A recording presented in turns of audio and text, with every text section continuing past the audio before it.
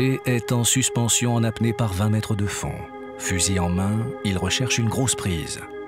Barracuda ou Marlin. Nous sommes dans les Tuamotu, archipel de la Polynésie française dans le Pacifique Sud. La faune marine y est particulièrement riche, plus de 400 espèces de poissons y cohabitent. L'eau d'une extrême pureté dans l'archipel, c'est l'un des rares endroits où l'on cultive la fameuse perle noire. Mais les Tuamotu sont avant tout une des plus belles destinations pour la plongée sous-marine. Il faudra du coffre pour accompagner Jay en apnée jusqu'au plateau corallien.